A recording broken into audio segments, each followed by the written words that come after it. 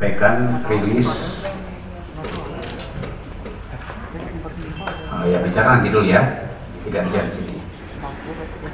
Uh, siang ini saya akan menyampaikan rilis tentang pengungkapan nar penggunaan narkotika jenis sabu-sabu. Dari tadi malam semua teman-teman nelpon saya telepon Kapolres sampai lupa jamnya pun masih nelpon jam 2 malam pun masih nelpon saya. Jam 3 malam aja masih ada yang nelpon. Uh, penyalahgunaan narkotika. TKP nya yaitu hari Rabu kemarin tanggal 7 sekitar pukul 15.00 di daerah Pondok Pinang Kebayoran Lama Jakarta Selatan tiga orang ditetapkan sebagai tersangka. Yang pertama, inisialnya ZN. Ini laki-laki umurnya 43 tahun. Dia adalah sopir pekerjaannya setiap hari. Juga yang membantu di kediaman dua tersangka lainnya yang kedua adalah inisialnya RA. Ini perempuan umurnya 31 tahun, ibu rumah tangga. Yang ketiga inisialnya AAB. Umur 42 tahun, laki-laki, karyawan swasta. RA dan AAB ini adalah suami istri RA adalah seorang public figure.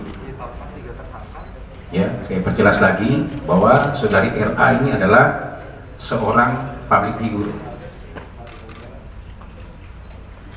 Barang bukti yang kita amankan satu klip jenis sabu-sabu.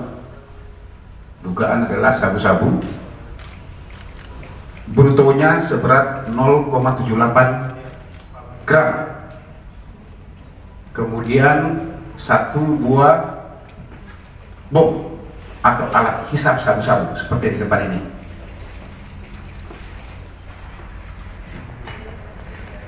Kronologisnya sekitar pukul 9 pagi saat narkoba Polres Metro Jakarta Pusat ya langsung dipimpin oleh kanitnya mendapatkan informasi ya bahwa saudari RA sering menggunakan memang sabu-sabu ini yang bertempat tinggal di daerah Pondok Pinang atau Pondok Indah, Jakarta Selatan. Kemudian dilakukan pendalaman surveillance oleh teman-teman dari Sat Narkoba berhasil mengamankan seorang inisialnya adalah ZN ya. ZN atau ZV ZN ya. Ya. ZN yang merupakan adalah sopir atau pembantu daripada keluarga RA dan AAB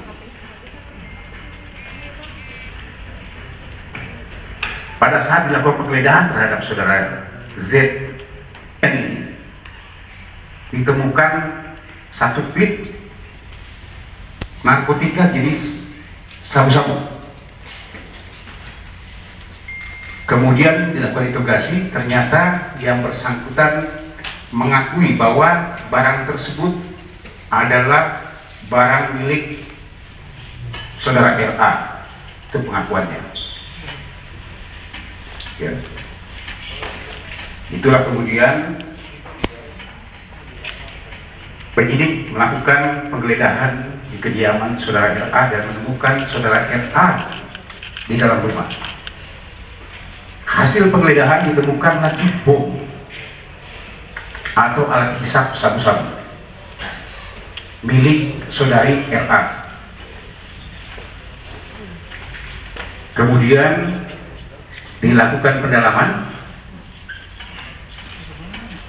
dan mengakui bahwa juga suaminya saudara AAB juga mengisap bersama menggunakan sabu-sabu ini bersama-sama.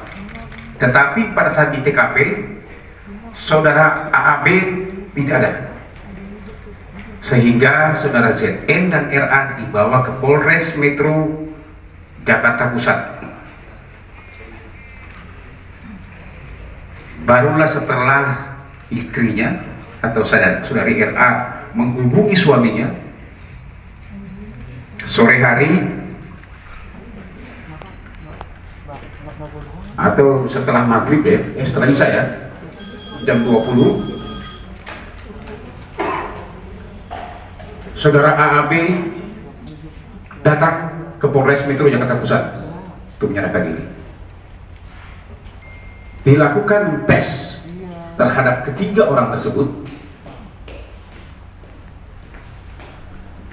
Tes urin menyatakan positif. Positif mengandung metavitamin metavitamin atau sabu-sabu.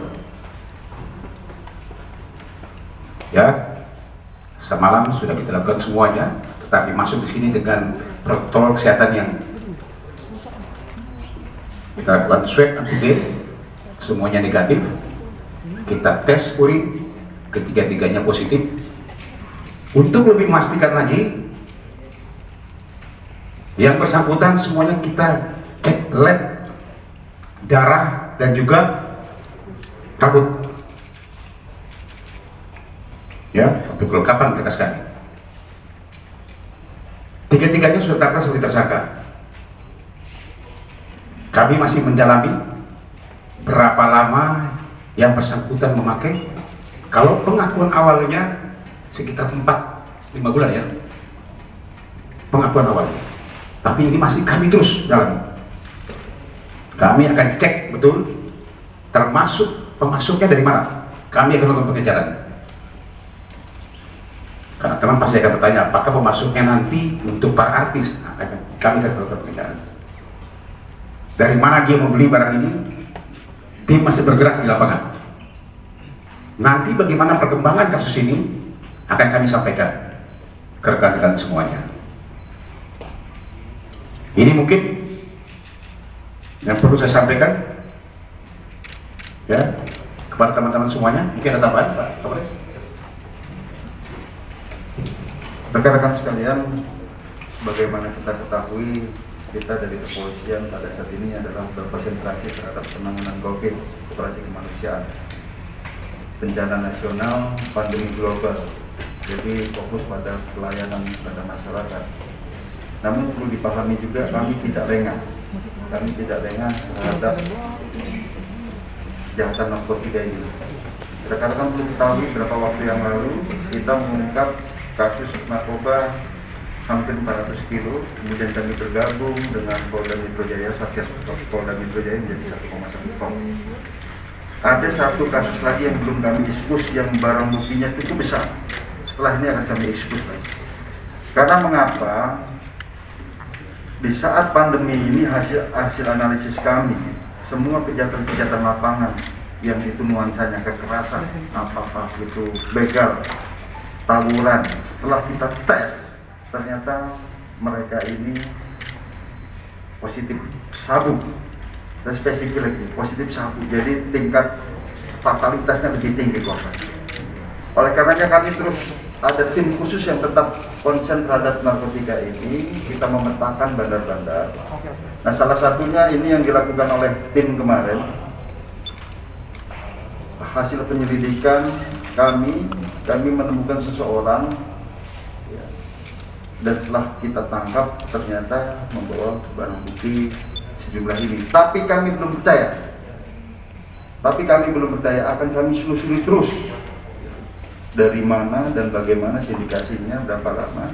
Dan ternyata setelah diada, diadakan surveillance ternyata tertangkap atas nama tersangka ini jadi sekali lagi kami tekankan ini penyelidikan belum selesai sampai di sini. Kita akan lebih kembangkan lagi. Jadi di sini rekan-rekan sekalian, pengalaman kami di saat kita menangani kasus COVID, kita lengah, kemarin pengalaman hanya dalam waktu 22 hari, kita bisa sita 1,1 ton sabu dan berasal dari satu daerah Bonci di perbatasan Iran dan Pakistan. Justru di saat pandemi mereka datang, karena kita lengah, kami tidak akan lengah. Oleh karenanya untuk kasus ini kami nyatakan kami belum selesai penyelidikan. Kami yakinkan belum selesai. Saya kira itu yang perlu kami sampaikan bahwa kita tetap perang terhadap narkoba di saat pandemi, di saat masyarakat panik, tiba-tiba kejahatan nanti meningkat ditambah lagi dengan stimulasi sabu, maka akan lebih brutal, lebih sadis dan lain sebagainya. Saya kira demikian. Terima kasih. Terima kasih Pak Kapolres. Pasti teman-teman akan menanyakan juga apa motif daripada para pelaku-pelaku ini. Ya, kalau penyampaian awal memang di masa pandemi katanya kosong seperti ini dia menggunakan apalagi dia suami istri kemudian juga dengan tekanan kerja yang banyak itu alasan-alasan klasik. Tapi kami terus akan terus mendalami apa yang disampaikan Pak Kapolres ini belum sampai di sini kami akan kejar terus. Ya mudah-mudahan pemasuknya dapat. Apakah kemungkinan dia juga untuk para artis-artis atau public figure yang lain? Nanti kita tunggu hasilnya seperti apa. Ya kami tidak akan berhenti. Kami akan kejar terus. Ini mungkin teman-teman silakan. Ada yang mau ditanyakan? Silakan. Di sini 127 di undang-undang nomor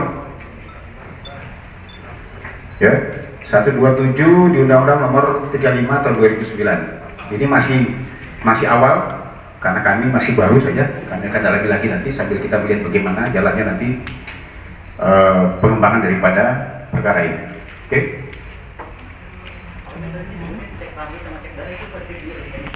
Ya semuanya untuk memastikan lebih untuk kelengkapan sebagai alat bukti kami. Ya, oke? Okay?